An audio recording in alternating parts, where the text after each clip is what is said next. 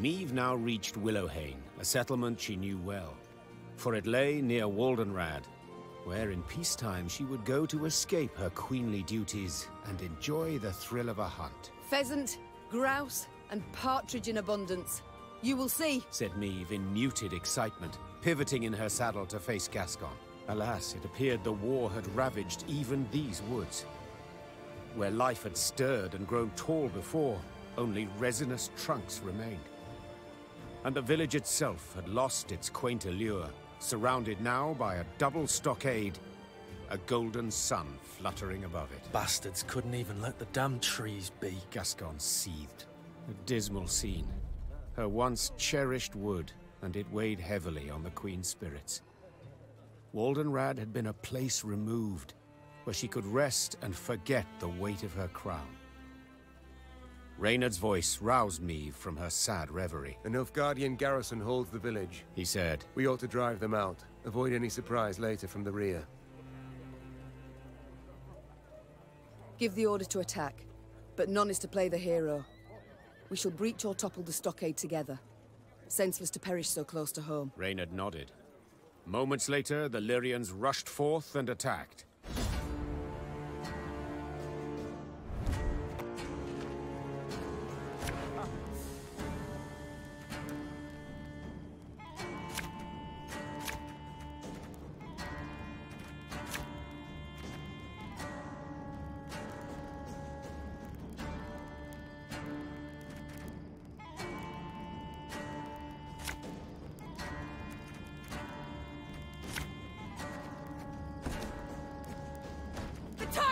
to purge these devils from our homes!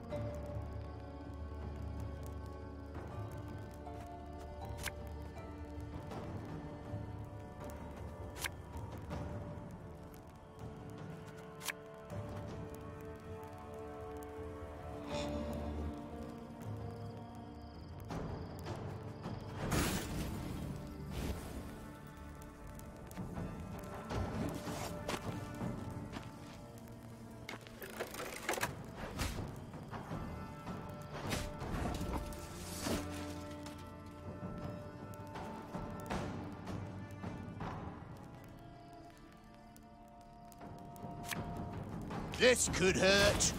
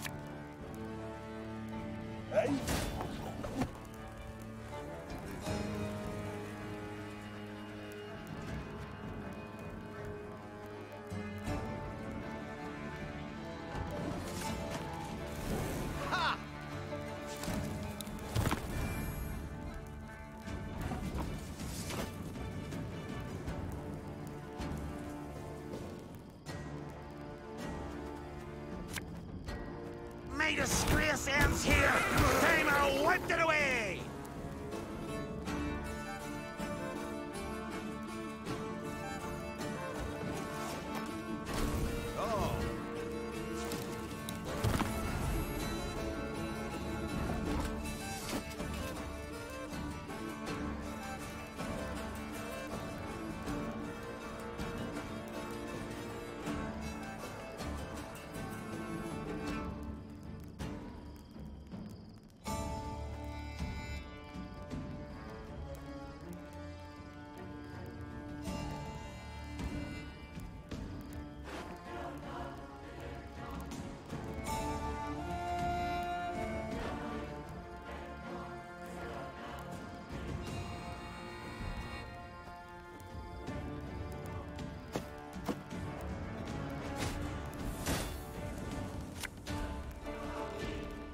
Hey, don't toss that. It's perfectly usable.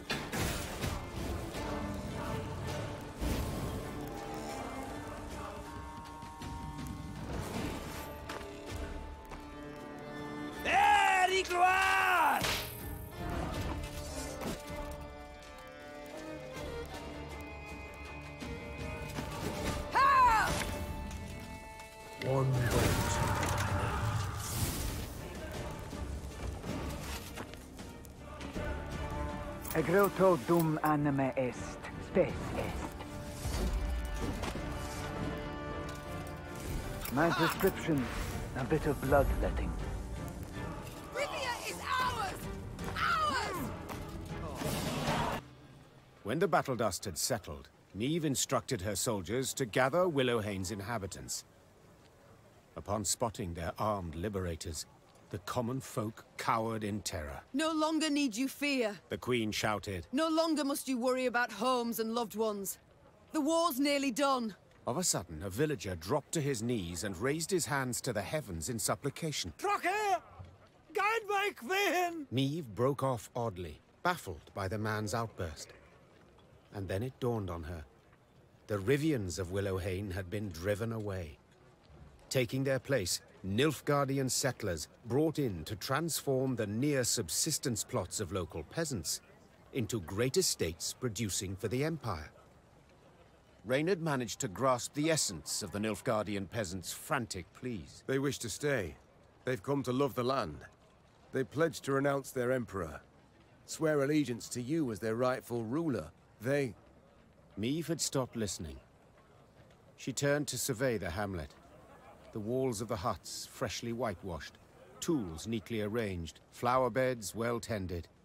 A young girl of six or seven summers peered out from her hiding place in a sunflower patch. Your Majesty, Asked Reynard, having noted that Meve's mind had wandered. what are your orders? What shall we do?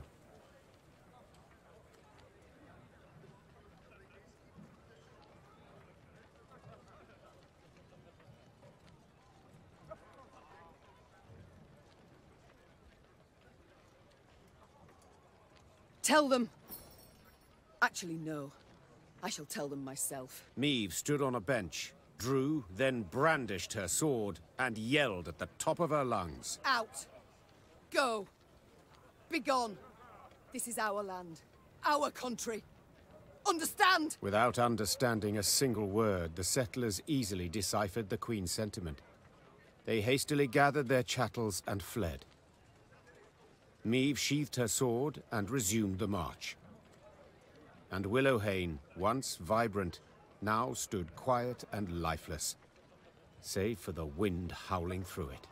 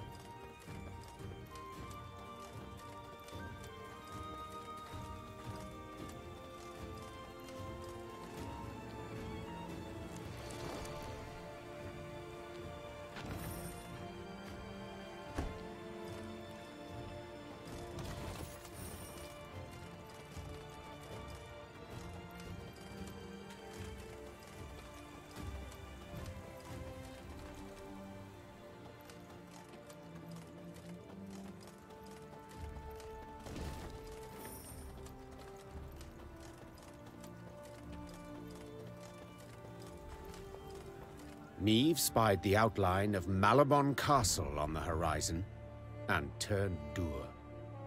True, no golden suns waved atop its towers, yet that did not mean those within supported her. Maloebon belonged to House Obert, long in conflict with Meve's own, and with Meve herself. Behind their ramparts. Do you see them, Reynard? Asked Meve, shaking her head. Countless ballistae, collecting dust, while war rages all around. Perhaps the Oberts will lend us aid. Reynard replied. True, you've been at odds with them in the past. But perhaps now, faced with a common foe. A common foe? Snorted the Queen. You mean Nilfgaard, to whom they opened their gates? Caldwell, whom they supported? For they were convinced the Empire would win this war, and resistance pointless. Yet you have shown all the North the Blackclads can be defeated. So perhaps they shall forget old wrongs.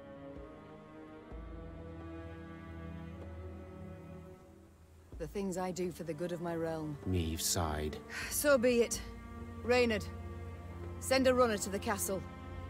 Tell the Oberts their queen seeks a word. Moments later, the castle's heavy iron gate creaked open. Meve rode into the cobblestone courtyard, where Margravine Greta, head of the house, greeted her. Although, greeted is perhaps not the right word, for Lady Greta granted her only a barely perceptible nod. What can I help you with, Meve? The war, my dear. The one being fought outside the walls of your castle. Greta smiled to herself, then intertwined her brittle, ring-covered fingers. I'm afraid that's impossible. It is a vassal's sacred duty to serve her liege, and... And my liege is King Villem. Greta calmly retorted. Against whom you have raised arms. Villem is a usurper. He unlawfully stripped me of my crown. The Council of Peers deprived you of your crown. Greta said, pursing her eyes into thin slits. Fearing you would drag this realm into a senseless war. A fear which, it is now abundantly clear, was well founded. I have returned home a victor. I defeated the Nilfgaardians in Angren. Due to a stroke of good luck. You think defeating Caldwell means you can defeat the Emperor as well? Madness, my dear Meve. And my men will not die for madness. Leave my home! Begone from my lands!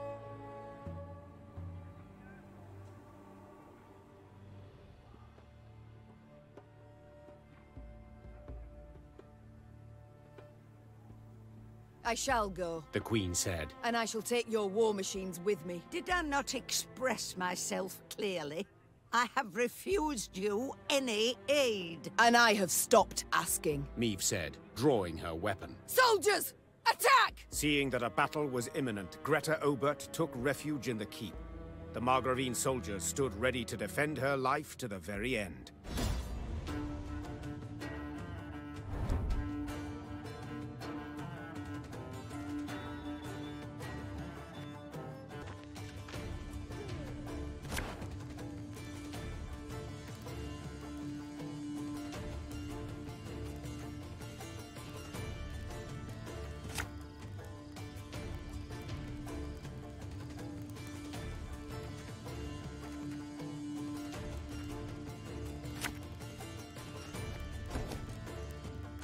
You and Epdahi, you are no different.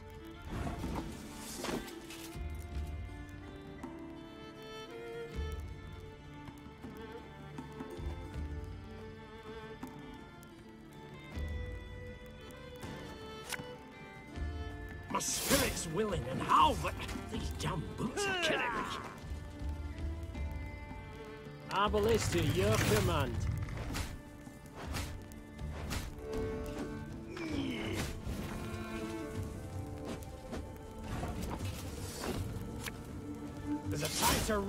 Time to sow,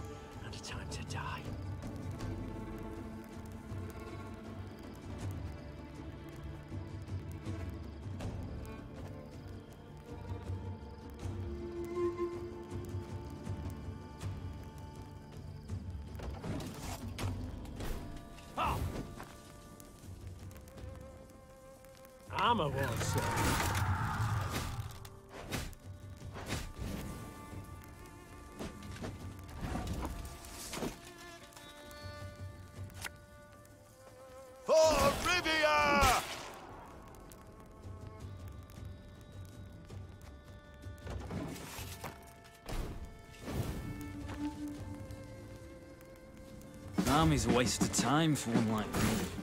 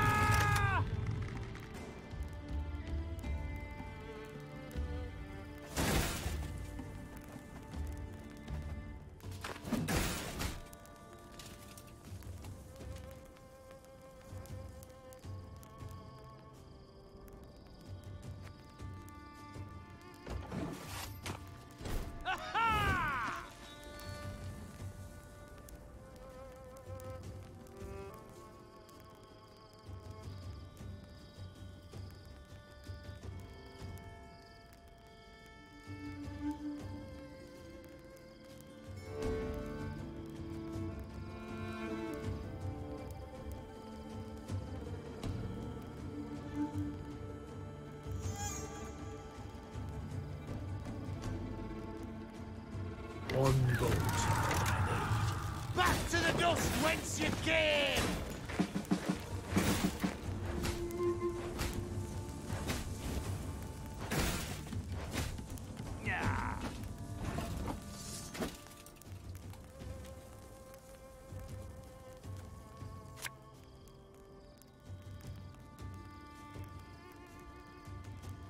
The chase is on!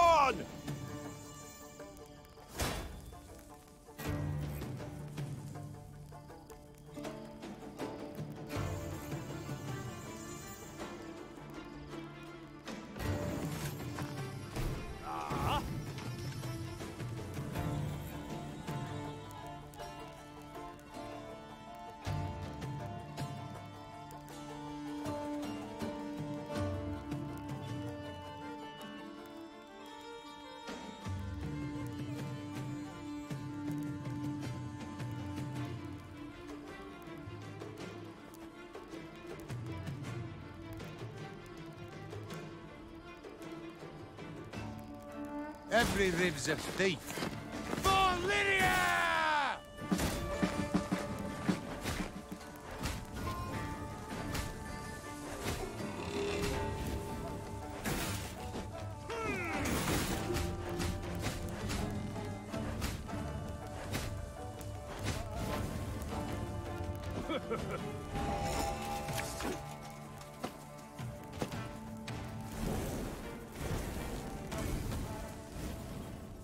Congratulations. You've defeated an old woman. Shocked by this sudden attack, the Oberts never stood a chance of resisting Meve. Realizing their inevitable defeat, Margravine Greta tried to escape, but her horse, frightened by the tumult of battle, tossed her from the saddle and bolted. Meve left Maloebon Castle strengthened by the Obert's war machines, but in dour spirits. She understood that even if she won the war and chased the Nilfgaardians behind the Yaruga, she would still have enemies left on her land.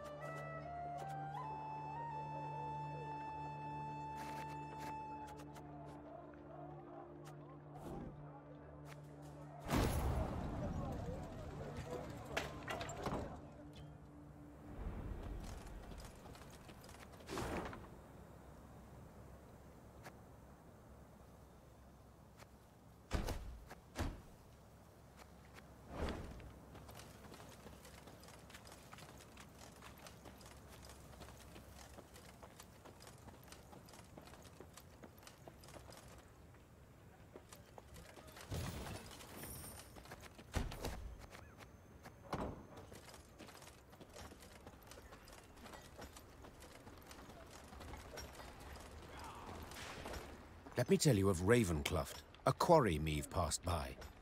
A quarry with a dark history. For years earlier, its wall had collapsed, burying dozens alive. Scholars summoned from Oxenfurt were unanimous in their findings. The rock was fragile, further digging would likely cause slides. Meve had heeded the scholars' advice and closed the quarry by royal decree. Yet now, as she neared it, Meve could hear the even tap of pickaxes. She dispatched scouts to investigate. They returned promptly, their faces sullen, their cloaks blanched with a fine limestone dust. Quarry's open anew, Your Grace. Nilfgaardians. They've got folk in the pit working it. Appear to be from the surrounding villages. Interesting. Their engineers have found a way to render it safe. Secure the walls. I'd say that's right unlikely, Majesty. Judging by the fresh graves we saw. The Queen then turned to Reynard, as ever at her side. Reynard, what do you advise? As a soldier, my queen, I'd advise against any kind of assault. The terrain's hard, unsuitable for a fight, and we've little to gain from a victory. As a man, however, Yes? to leave our folk in chains, in that death trap, wouldn't be right.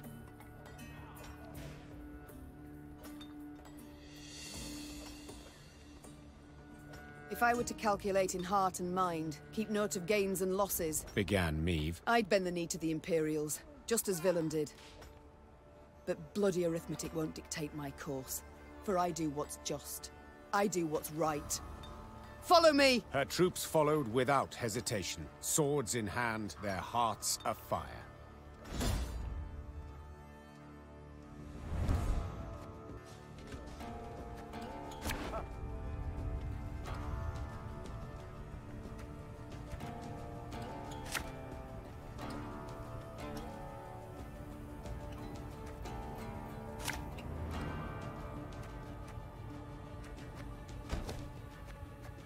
Those Horsons. Forcing my own subjects to fight us.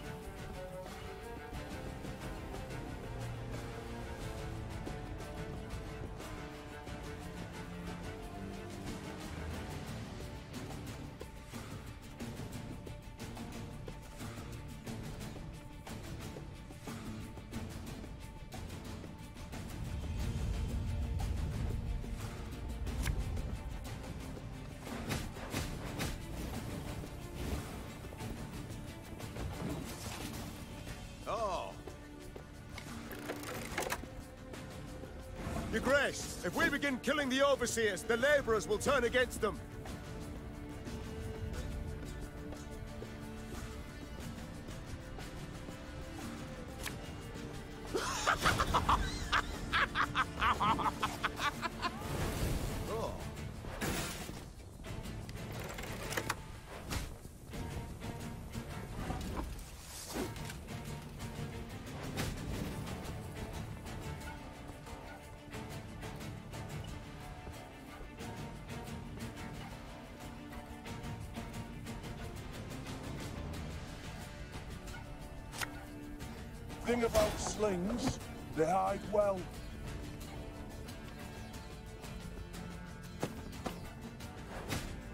Overseers are dead, Your Grace.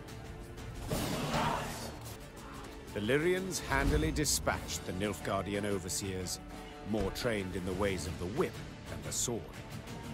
Those who survived now found themselves shackled in the very chains they'd forced the peasants to wear. Peasants. Oh, unfortunate souls. The cruel labor in the quarry had taken its toll.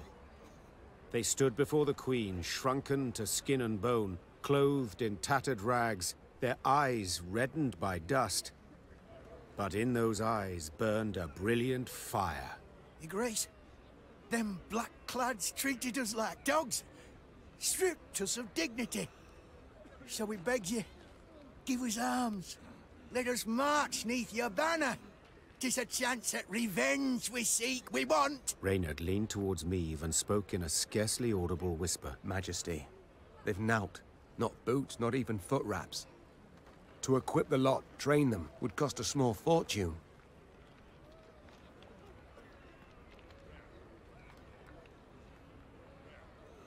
Tis true. They've nought to their names. Said the Queen. Have few skills to offer and little strength. But to look in their eyes is to know they'll never flee. Never throw down their arms. Such recruits are worth coin in any amount. Emaciated, downtrodden, the peasants met the Queen's offer with gratitude.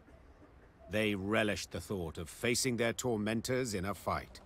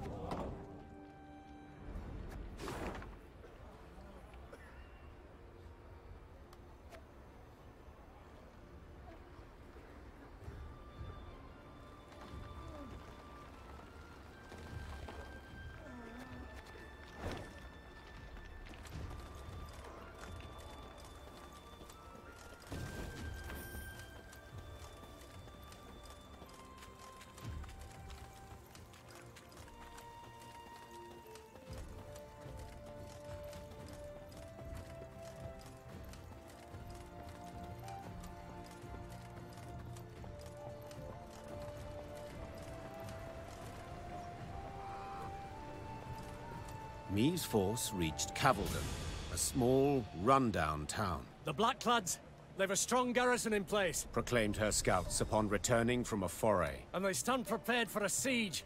Their stores overflow, and we've seen ballistas, scorpions. Kaveldun can be taken. Began Reynard, hesitantly. But not without losses. Considerable losses. A retreat. Is that what you advise? I fear the soldiers wouldn't take to such a course. They're eager, your grace. They've a fire in them. Order a retreat and you could devastate morale. Our losses may be heavy. Said Meve, drawing her sword. But I'll make certain the vile invader suffers even more. Order the troops to prepare. We will attack. Soon after, the Lyrians moved on Kaveldun, war drums rumbling in step to their march. Upon the walls, the Nilfgaardians stood poised to defend.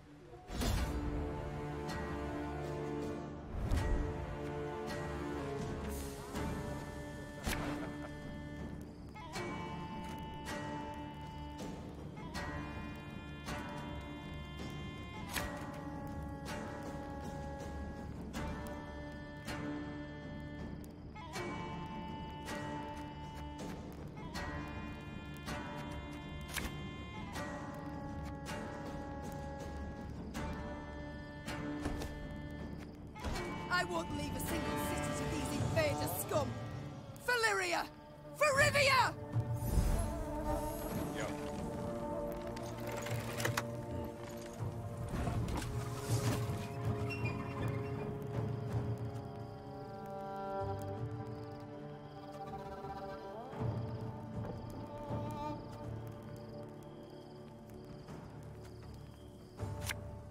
Got any medals? Hungry like a wolf, I am.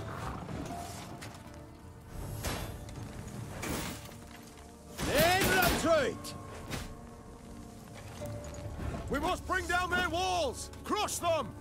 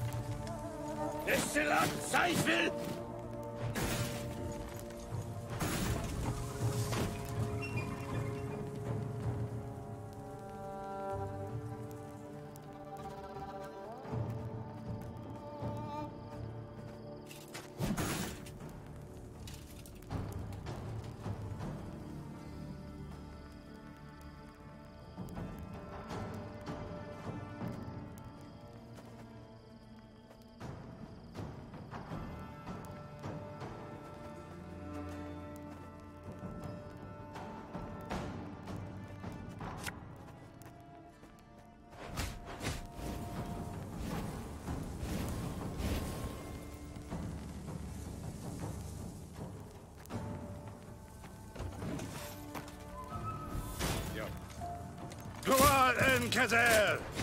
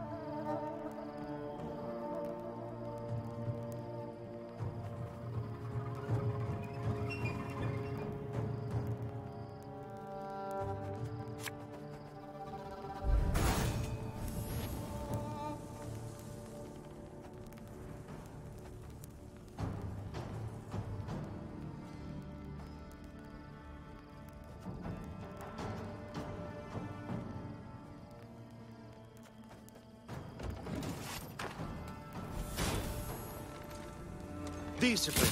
That is what you folk lack.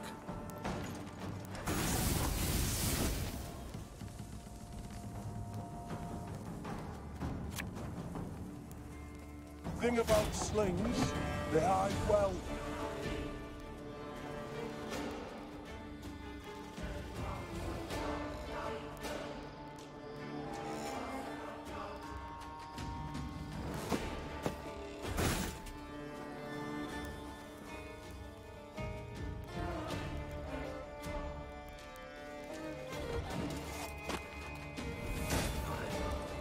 Pericloa!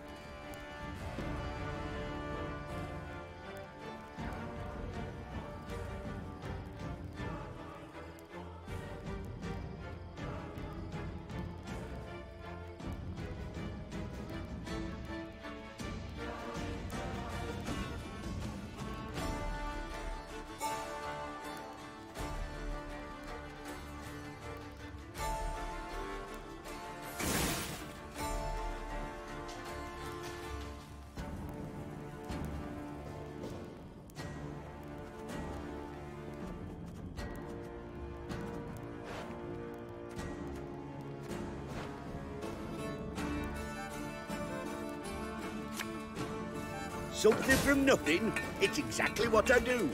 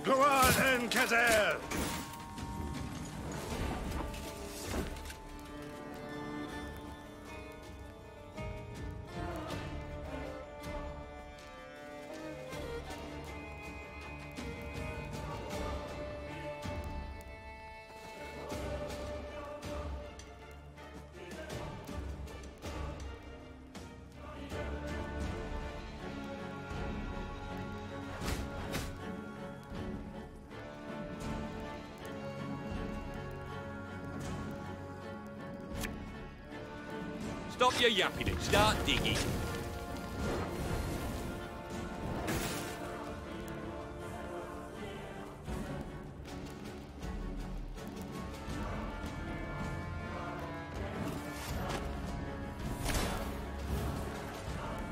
Discipline. That is what you folk lack.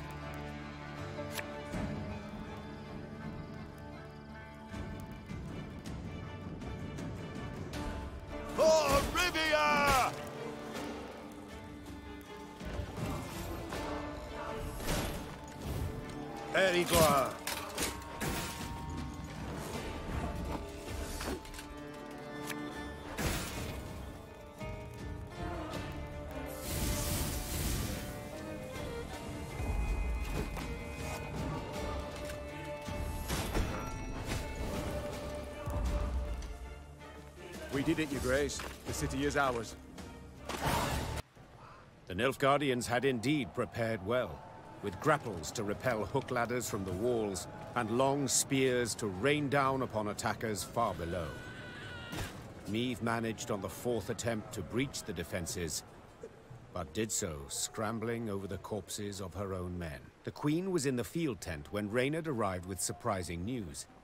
To be heard over the groans of the wounded, he had to raise his voice. Your Grace, a delegation of townsfolk. They seek an audience urgently. Dozens of burghers stood before the tent. Between them and the Queen, a man knelt in shackles. His face was blooded as if he'd endured a vicious beating just moments before. Who's this? Our blacksmith, Todor. Snarled a priestess in a frayed robe. He betrayed you, your grace.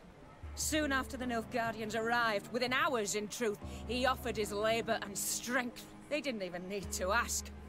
Forged arms and armor for them, all for imperial gold. Meve gripped the beaten man's beard, tugged upwards, and looked him in the eyes. Did you forge the hooks and the tips for those spears? I...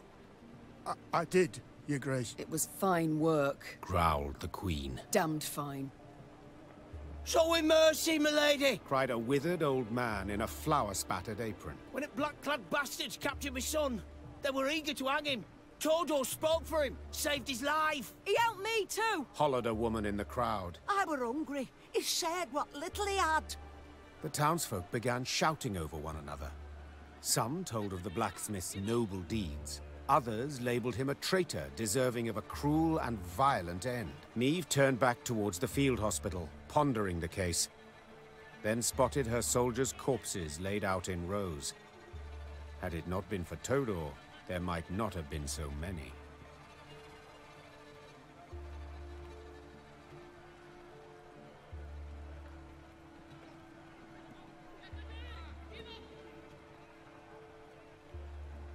Twenty soldiers died today, wresting Kaveldun from Nilfgaard's grip. Said Meve, her tone cold and unforgiving. Twas your iron that felled them.